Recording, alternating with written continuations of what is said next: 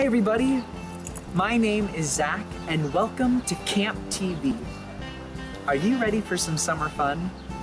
Me too. Now, as your head counselor, I will be introducing you to all sorts of cool activities arts, crafts, games, math, and science, as well as some of my favorite books, nature, and theater. I will be here to take you from one activity to the next. So follow me on Camp TV.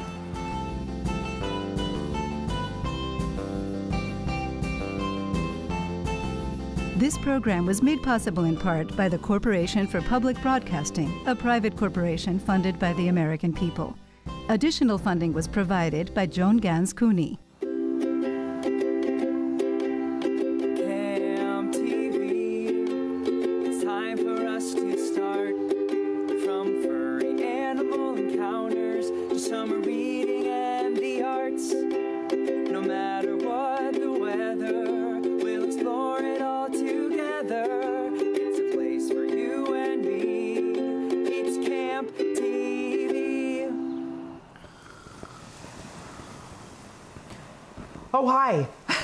Nice to see you.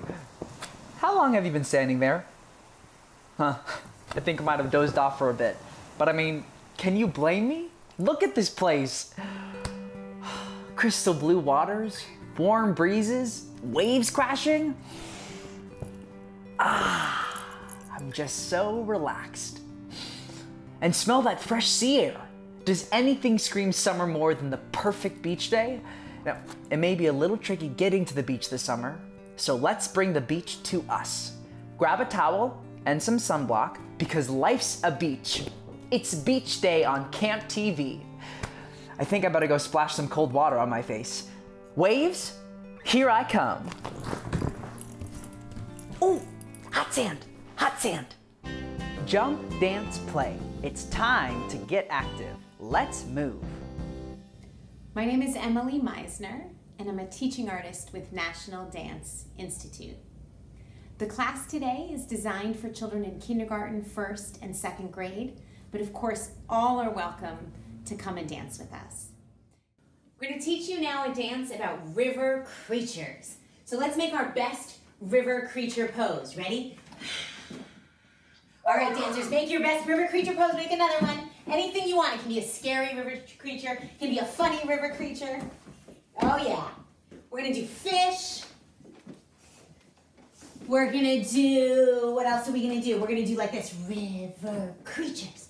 River creatures. Have you ever seen an eel, a slithering eel? So we're gonna do eel. We're gonna call it a um, water snake, because in the Hudson River it's called a water snake. We're gonna go water snake. Ooh, that's a good one. Water snake. All right, so my dancer's here, my dancer's here. Here's the first step. You go like this, ready?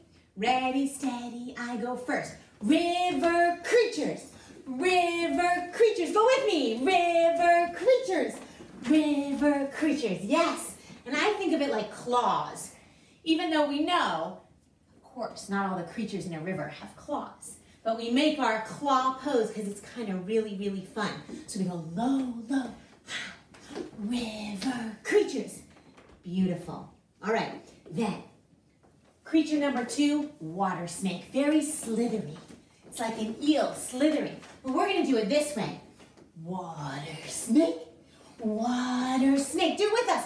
Water snake, water snake. Yes. Beautiful job with that, dancers. We're gonna do each part twice. River creatures, river creatures. Water snake, water. Then it repeats. River creatures, river creatures. Water snake, water snake. Let's try that with some music. Here we go. Get ready for those river creatures. Here we go, river creatures,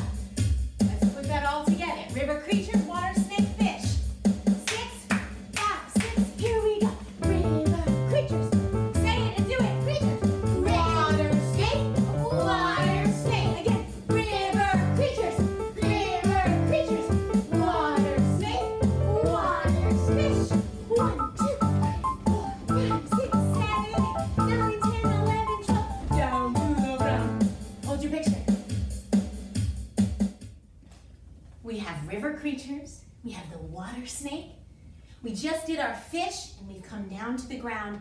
It's time for the mighty eagle. Take your arms up, your eagle wings, and bring them down. This part's really smooth. Bring them up again. You can use your head and smooth bring them down. Beautiful.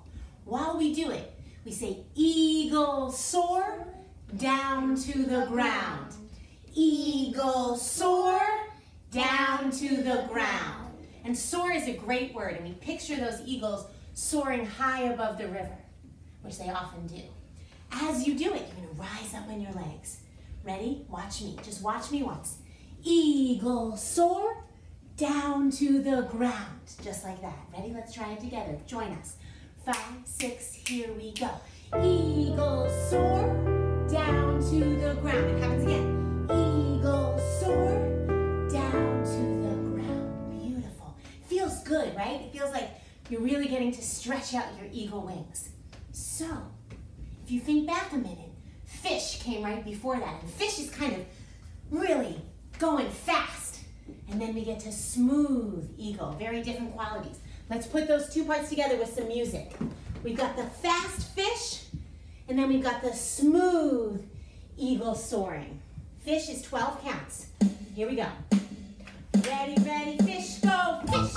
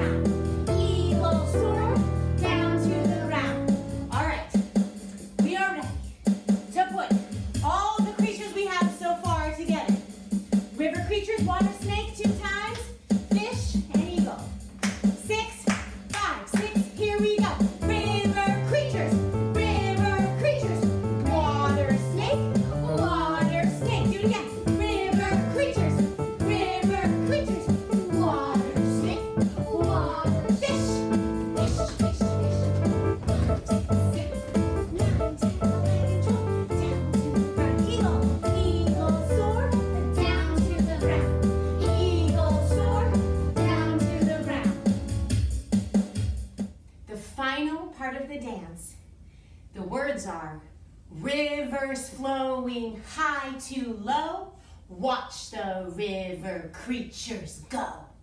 Let's say that together. The words are going to be coming across the screen. Ready, ready, say the words. Rivers flowing high to low, watch the river creatures go. Oh yeah. And there's like an emphasis on that go. Here's what you're gonna do. Rivers, show me your best river. Going side to side. The rivers are moving, flowing. Rivers flowing high. You got that part. To low. And then you get a dance party. Watch the river creatures go. You dance party like your best river creatures. Watch the river creatures go. And you make any final picture that you want. That's your river creature. Can be anything you want. Use your imagination. All right? Let's put those parts together. Rivers flowing high to low. Watch the river creatures go. Do it with us. Just follow along. We'll probably do it a couple times. All right, dancers. River creatures are ready to rock. Here we go. Rivers flowing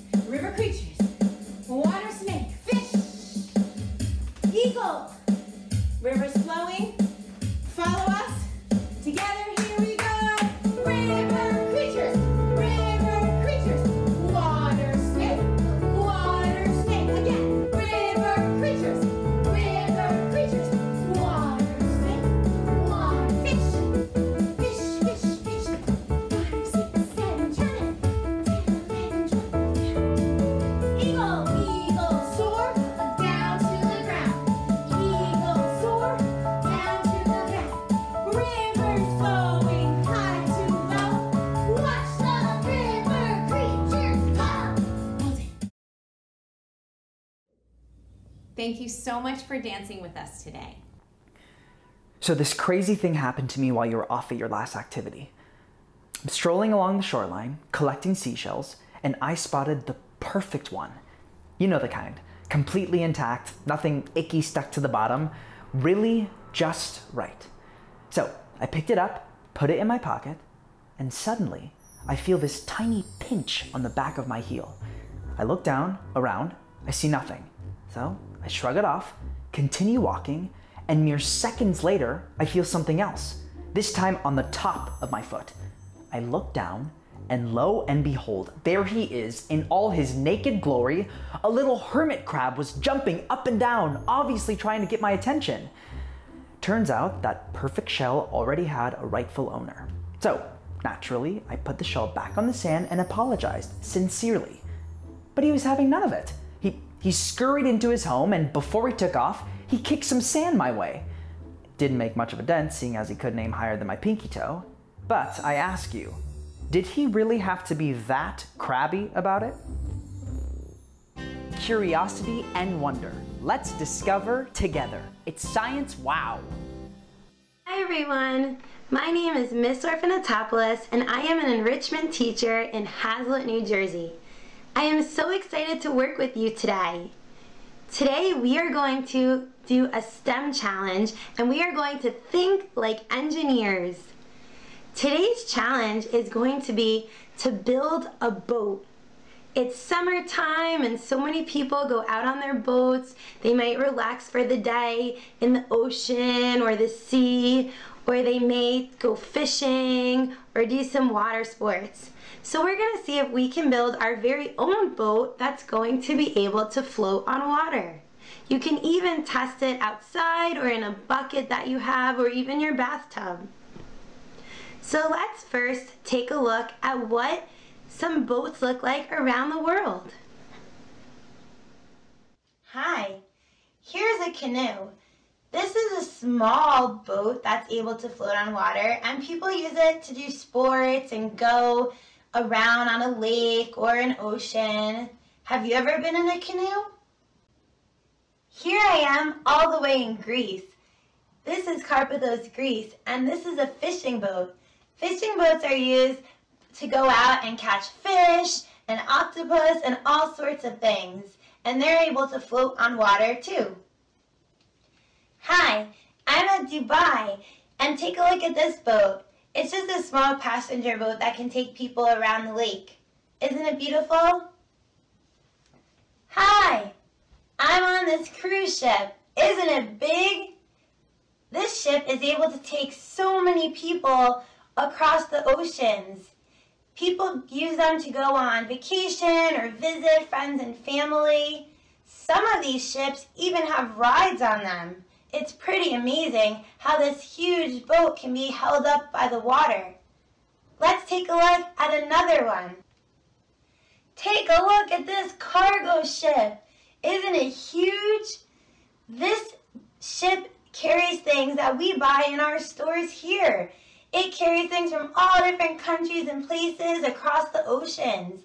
It has so much weight and it's amazing how it can still be held up in the water. So let's go back to my room and see how all of these boats can actually float. Weren't those boats amazing? Boats of all different sizes have buoyancy, which is the ability for the boat to float in the water. When a boat gets put into the water, it actually displaces the water and spreads it out, which gives more room for the boat to sit.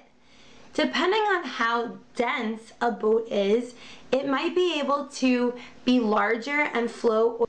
Density is how much material is packed into a given space. Many boats actually are hollow and have empty spaces inside them. So when you build your boat, think about that. If it's too heavy or it's too thick, it might have trouble floating. So you want to build something that actually has some space inside. And you want to use materials that are a little bit more light. So today's challenge is going to be to build a boat that can float. So before we get started, I want you to gather any materials that you have around the house. It could be some cardboard and paper, popsicle sticks. You might need scissors and tape. Find anything you have and you're gonna use that to build with. Before we start building, we're going to think like an engineer. The first step in the engineering design process is to ask, what is the problem and what are some things that might be in our way? So our problem today is to make sure that our boat can actually float. And for more of a challenge, you can even put some weight on it, such as coins or a soup can or something heavy. Our step number two is going to be always to imagine. I want you to take a piece of paper and brainstorm your idea. Jot down some notes and make a little uh, sketch of what things you have around the house that you can build with. Step number three is going to be to draw your diagram. I want you to draw what you really want to build with the materials you have and how it's going to look. And step four is when you're actually going to create and you get to build your boat. Now engineers always improve their design. So even if your boat floats the first time, you can still find a way to make it better. And if your boat doesn't do too well and you see that it's sinking, you might want to improve it and think of what you can do to make it better. People often improve their ideas over and over again, and that's okay. So let's start building and brainstorming and see what we can come up with.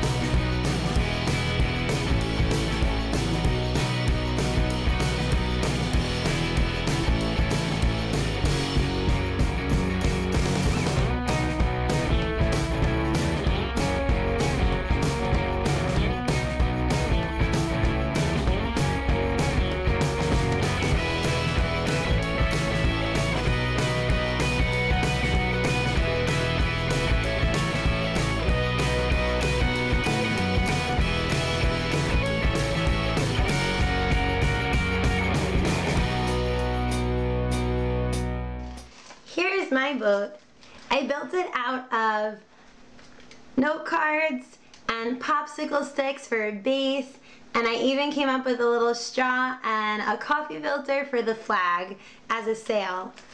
And I covered it in tin foil because I didn't want it to uh, get wet when I put it in the water because the paper will get wet, but the tin foil should protect it. So I'm going to test my boat out to see how it floats. Here we go. Well, it seems to be floating pretty well. And I can try to add some weight on it and see how it does with more weight. I hope your boat comes out great. Remember, it's okay to keep on trying and not give up. I know you can be a super thinker and I can't wait to see what you make. Have fun. Bye. Enjoying your day so far? I'm personally feeling a little guilty about my shell napping experience. So, in honor of that hermit crab, may he live long and prosper, I present to you today's Zach, Challenge. I'm going to walk back and forth along the perimeter of my kitchen in under 10 seconds. Simple, you say? Hardly. Not when you have to walk like a crab and balance a flip flop on your stomach at the same time. Let's do this.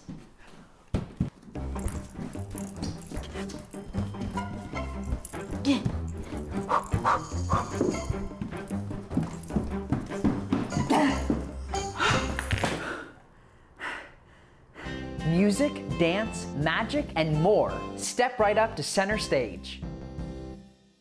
Hello! Hello! Hello? Hello? Hello? Hello? Hi, my name is Marisol, and I am a teaching artist with the New Victory Theater. I am an actor, a director, a creator of original work, and sometimes I clown. I'm coming to you today from my apartment in Philadelphia, where I live with my partner and my friend, Ziggy! That's right. That's my friend Ziggy.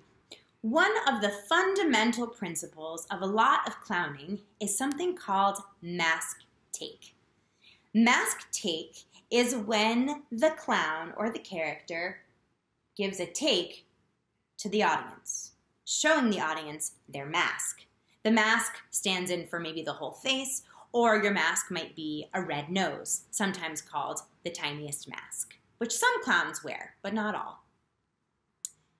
Now, mask take is important because it's all about sharing with the audience how you feel, your reaction to something. And this for me is the most magical thing about clowning is that sense of connection with an audience. So mask take is so important. Now, it can be a little bit strange if you have a partner on stage with you to remember to mask take because we're used to uh, playing on stage with and to our partner rather than with and to an audience. And that's why we are going to practice mask take uh, today with a little game and a little song. So, to get started, all you need to do is pick a song that you and your partner both know well. All right, Zig, you and I are going to sing the alphabet song just like this. When you are singing, you're going to look at the audience. And when you're not singing, you're going to look at your partner. So simple. We're going to pass the ten- attention and the focus back and forth between us and practice looking at you when we sing. Just like this. Zig, would you like me to start? Uh, uh, yes, please. Okay, no problem, Zig. All right, here we go. A, B, C, D. E, F, G, Okay. H, I, J, K, L, M, N, O, P, Q, R, S, T, U, V, W, X, Y, and Z. Now I know my ABCs. Next time, Won't you sing with me? Now, you may have noticed in that last round that we very politely tossed the focus back and forth between us. But if we add a little bit of character onto this clown relationship, well, it might not always go so smoothly, eh, Zig? so, for example, um, one of us might decide to sing a little too long.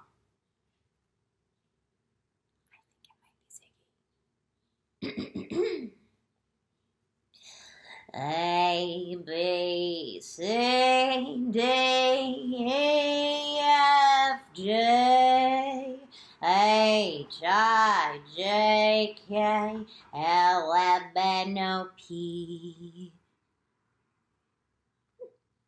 Q R S T U V W, X, Y, and Z. Now I know my ABCs. Next time, won't you sing with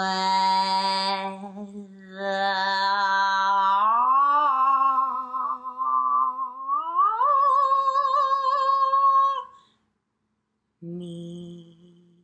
Me, me, me, me, me, me, me, me, me, me, me, me. Now, for our last round of practice with Mask Take, we are going to imagine that uh, Ziggy and I have two very different styles in which we like to sing. I'm going to sing in a sort of operatic style, and my friend Ziggy here is going to sort of rap the song. You ready, Zig? Absolutely. Yeah. All right, here we go. A B C D E F G H I J K L M N O P Q Q R S T U V W X N Y and Z. now I know my ABCs. Next time, won't you sing with me? Next time, won't you sing with me? Yeah. All right, friends, now it's your turn to practice your mask take. You can practice with a parent or guardian, with a sibling or a cousin, or even a favorite stuffed animal, like I have today. Uh, I am not an animal. I am a mythical creature. Oh, Uh, sorry, Zig. You can practice with your favorite, beloved, stuffed, mythical creature. Oh, thank you. Oh, thank you very much. Oh, thank you. Oh, thank you very much. All right. All right, friends, have a great time, and we will see you next time here. After a while, crocodiles. Ready for some math that counts? Count on! Hi, I'm Shayna from Bedtime Math, and today we're going to play a game called Pirate Treasure Hunt. First, we'll plot points on a grid to make a map. Then, we'll pick numbers to see which player lands on Treasure Island first. In order to make the map, you'll need a grid. It can be giant on the floor, made of masking tape, or smaller, made of paper on a tabletop. A grid has two axes. The x-axis goes across the bottom on our grid, and the y-axis goes up and down along the left side. The lines on each axis are labeled starting with 0 and going all the way to 10 and 14. Now that we have our grid, we need to plot some coordinates. Let's try a few together. The first one is 3, 1. The 3 tells us how far to go along the x-axis, so cross 3. And the 1 tells us how far to go up along the y-axis, so up 1. Right where those two lines meet, I plot a point. Okay, the next one is 8, 1. So this time I'll go over 8 and up 1 again, and I'll plot another point. Then I'll use a straight edge to connect those two points. Let's try one more. 10, 4. This time I'll go across 10 and up 4. X before Y, just like the alphabet. And we keep going and going, plotting all of our points until we've made our map. A ship, its sail, and an island. Playing with us today are pirate math friends, Jordan, Emma, and Cooper. Their treasure maps are already made. Now it's time to play and see who lands on the treasure island first. When it's their turn, each friend will choose a coordinate pair, but no peeking. Then they'll go to that spot on their grid. If they land anywhere on the boat, they get to go again. If they land in the ocean, it'll be the next person's turn. And when they land on the island, they're the winner. Let's start with Jordan. Eight, seven.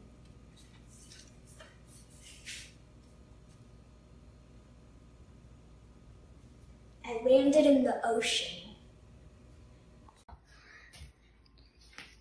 Okay, the first one that I got was two eight. So.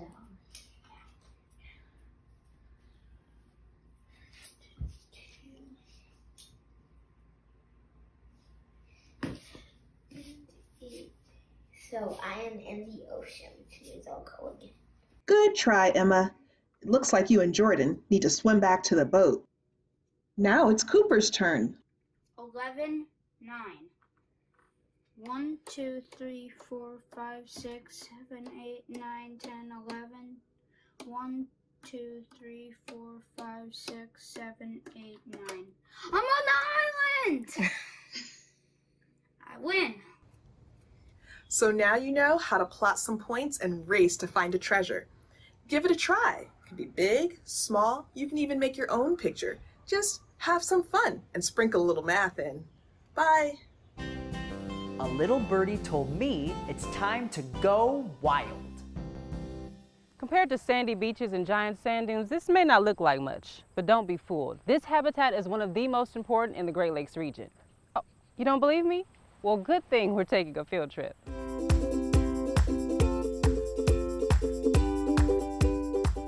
Before we get into why this habitat is so special, there are two important questions to ask. Number one, what is a habitat anyway? And number two, where is my guide? We'll break down question one while I go solve question two. To put it simply, a habitat is a place where an organism or a community of organisms live.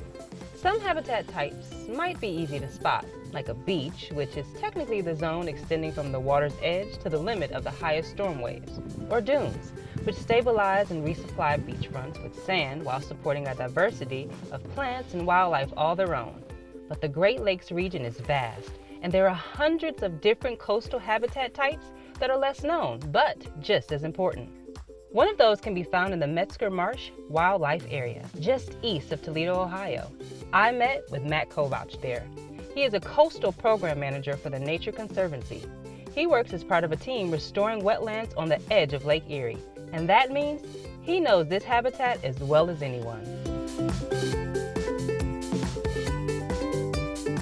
Matt, thanks so much for meeting with us. So, could you explain to us what are some of the defining characteristics of the Great Lakes wetlands? Sure. So, Great Lakes wetlands are really, really important and special places. There really aren't many of them left. We've lost about 95% of our wetlands in the state of Ohio. They provide really, really important wildlife habitat for fish and birds and mammals and all sorts of things. You know, there's a lot of food there. There's a lot of hmm. a lot of habitat, a, a, lot of homes for different types of animals that live out here. A lot of things that migrate, a lot of birds that migrate from south to north and north to south. Can you show us some of your favorite spots? Sure. Come out with me. I'll show you some all of these right. cool places. Let's go.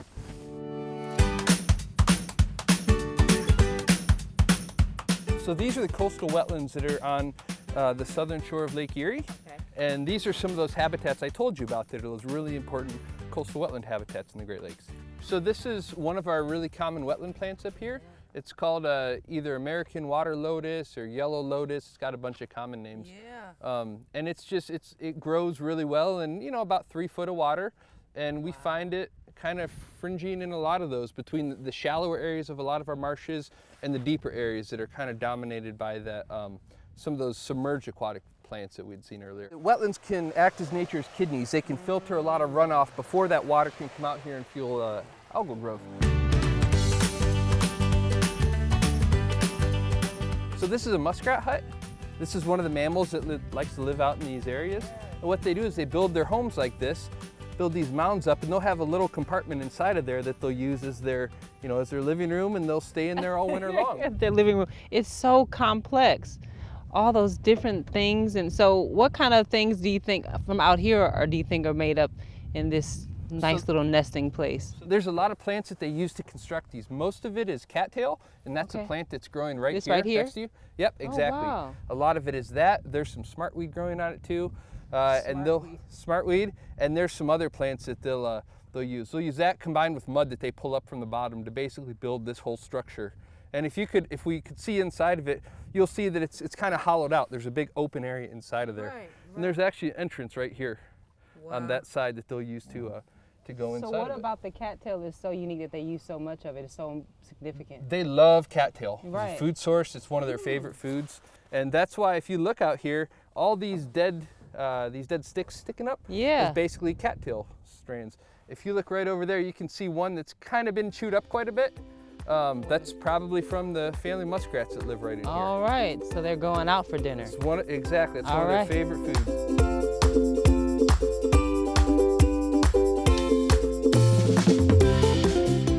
Matt, thank you so much for showing us Metzger Marsh. It's beautiful out here. And I think we understand a little bit more why preserving habitats like this is so important. So thank you for being one of the people that helped to protect sure. it. But that's the end of our field trip. I'm Morgan. Thank you so much for coming along with me. We'll see you next time, and we will be back. Okay, good. All right.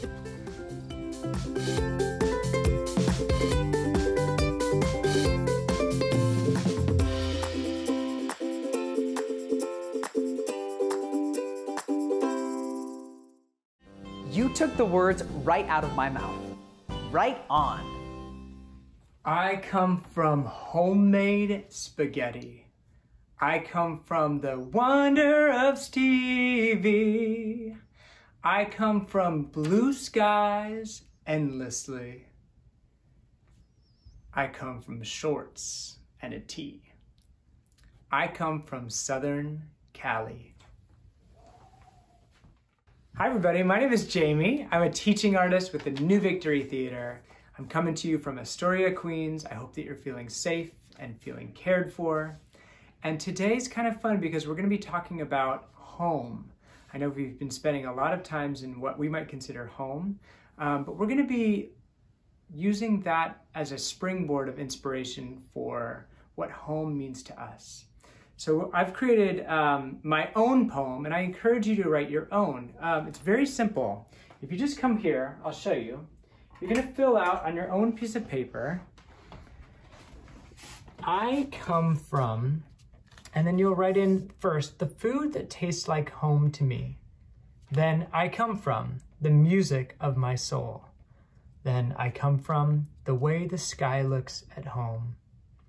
I come from, I feel most myself when I wear this, an article or articles of clothing. I come from name of the place you call home. So once you fill that out like I did, you're gonna figure out how you wanna present it. And it's, it's often best to rehearse a couple of times. Often the best ideas come after you've tried it a few times, and then you can show it to maybe somebody else in your home. Um, you might wanna think about an entrance so I'll enter from here slowly, or I'll enter from here quickly. Yeah? Um, you'll think about a gesture that you want to do. So for I come from homemade spaghetti, I might make my arms like spaghetti pasta. Um, you might think of a place where you want to be totally still, or you want to, might want to think of a place where you're a little bit quicker. Um, Think about the words and adding a gesture. So blue skies endlessly. I might look up at the blue skies and see those and bring my arms across the sky. Also, um, you can change the way that you say things. So you could say something really quickly or really slowly. Shorts and a T or shorts and a T. Or you could speak a little louder, not too loud or a little softer. So I come from shorts and a T. Or I come from shorts and a T. Yeah? Different ways of playing around with the dynamics. Once you've got that and you've practiced that, you can even mark on your paper loud here, or soft here, or stand here, or sit here. Uh, you can even bring in a chair or a, a piece of furniture that you work with in your piece. Once you do that, you can practice it a couple times and then find a way to present it. You could present it on camera, like I'm doing, or to an audience. So that's the poem. It's the I Come From poem, developed by many teaching artists many, many moons ago. And um, I find it to be really beautiful. You're going to continue to say, I come from, and then what you have for each prompt. So once again, I'll try it one more time and share with you my own I Come From poem.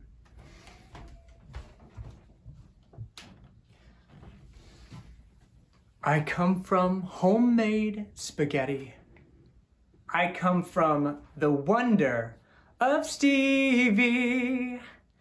I come from blue skies endlessly. I come from shorts and a tee. I come from Southern Cali. That is the I Come From poem. Thank you for joining us. Bye. What's a beach day without building a sandcastle? Nothing, I say. Absolutely nothing. Let's get to it then. Not only are we going to make a sandcastle, we're going to make what's needed in the first place. Some sand. You heard me right. We are going to make some sand from scratch. You will need a bowl, a mixing spoon, a measuring cup, some baking soda, and some baking powder, and some dish detergent. First, mix two parts baking soda with one part baking powder and one part dish detergent. Then, mix well with a spoon. Add more baking powder as you stir to make the mixture more fluffy. Then, knead the mixture well, adding more baking powder as needed. And there you have it, your very own homemade sand. Now let's finally get to making that sandcastle.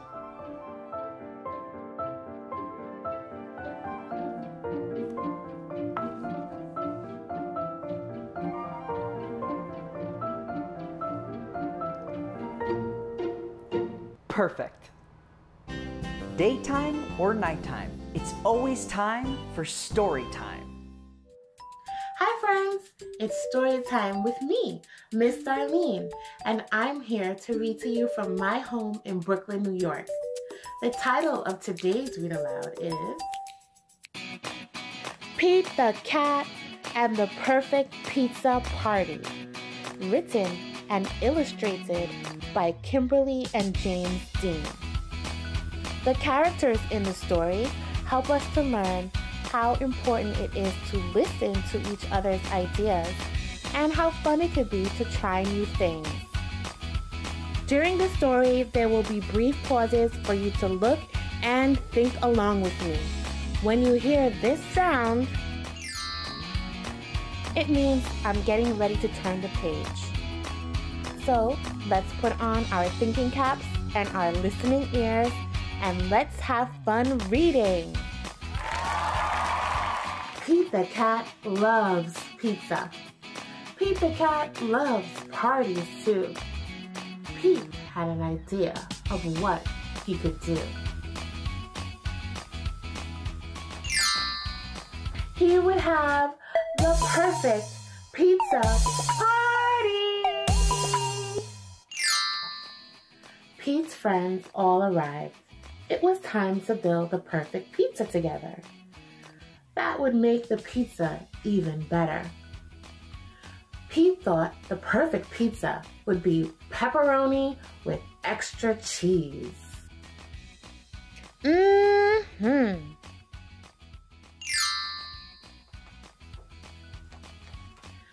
It's a party, a party, a pepperoni pizza party.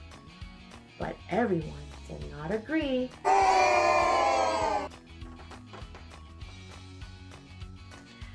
Callie said, pepperoni would be just fine, but I really love pretzels on mine. Pete and the gang were puzzled. Pretzels? Well, that's something new. But maybe pretzels could be groovy too. It's a party, a party, a pepperoni pretzel pizza party. Squirrel said, pepperoni and pretzels will be just fine, but I really love pistachios on mine. Pete and the gang were puzzled. Pistachios? Well, that's something new, but maybe pistachios could be groovy too.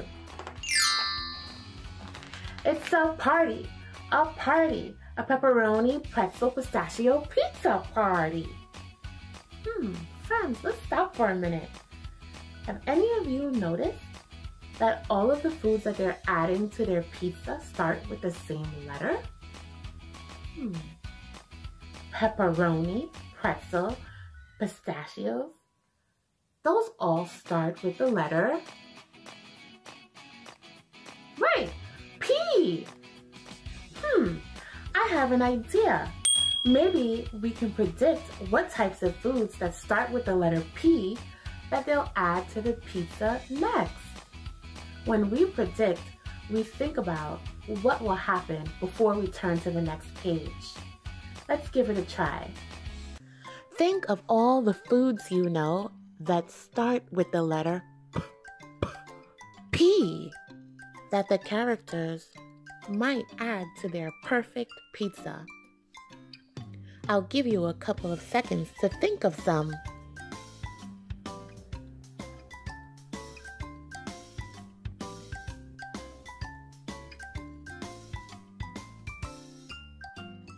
Let's see if any of the foods you predicted are on the next page. Let's see.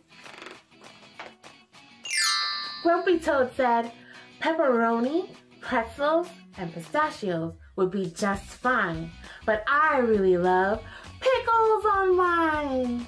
Did any of you predict pickles would be on the pizza? Pete and the gang were puzzled. Pickles? Well, that's something new, but maybe pickles could be groovy too. It's a party, a party, a pepperoni, pretzel, pistachio, pickle, pizza party. Let's make another prediction. What food that begins with the letter P do you think will be on the pizza next? Take a couple of seconds to think about it.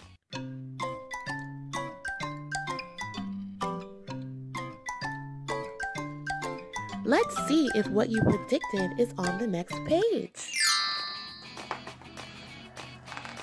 Gus said, pepperoni, pretzels, pistachios, and pickles would be just fine. But I really love popcorn on mine. Did any of you predict popcorn would be on the pizza next?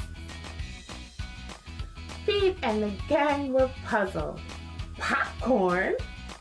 Well, that's something new, but maybe popcorn could be groovy too. It's a party, a party, a pepperoni, pretzel, pistachio, pickle, popcorn, pizza party. Can you make another prediction while Pete drives the party bus? Let's think of another food that begins with the letter P that the characters might add to the pizza next. Here's some time to think about it.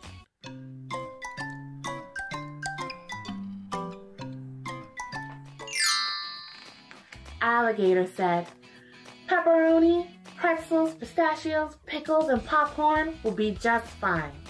But really, I love papaya on mine. Did anyone predict papaya would be on the pizza next? Who knew? Now Pete and the gang were really puzzled. Papaya?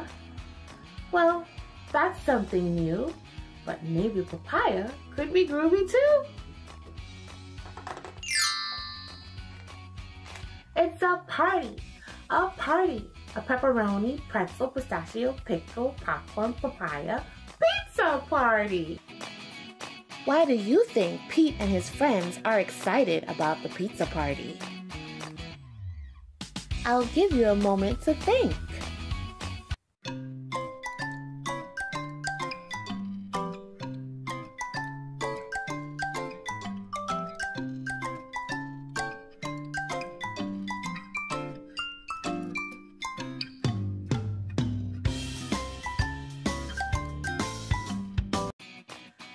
Think they were excited to share their ideas and to try new things.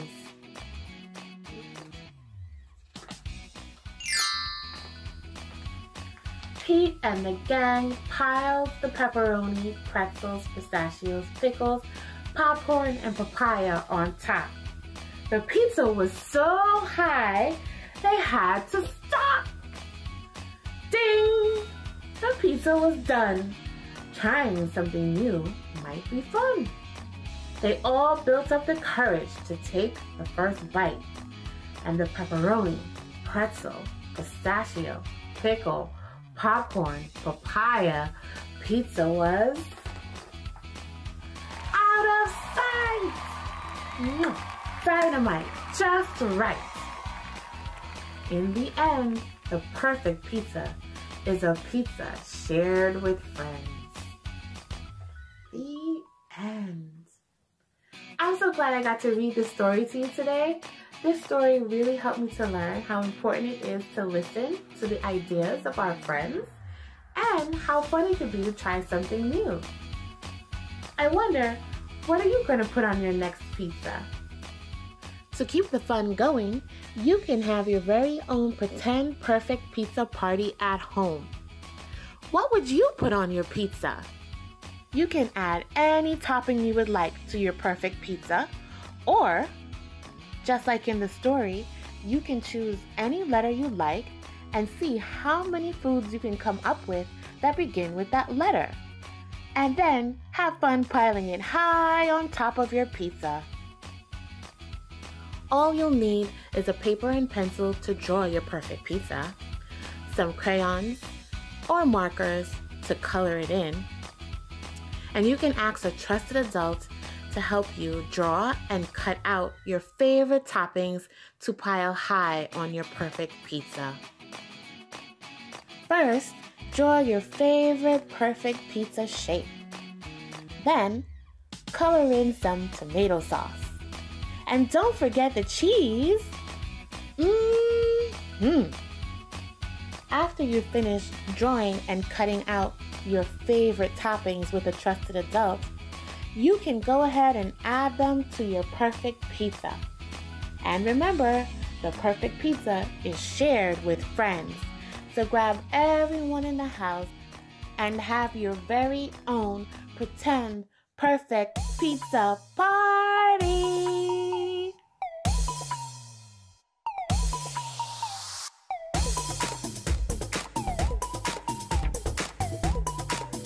Hope you enjoyed the story. Thanks for watching.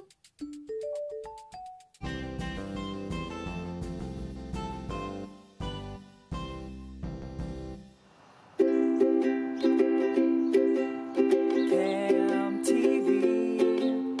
It's time for us to part from furry animal encounters to summer reading and the arts. No matter what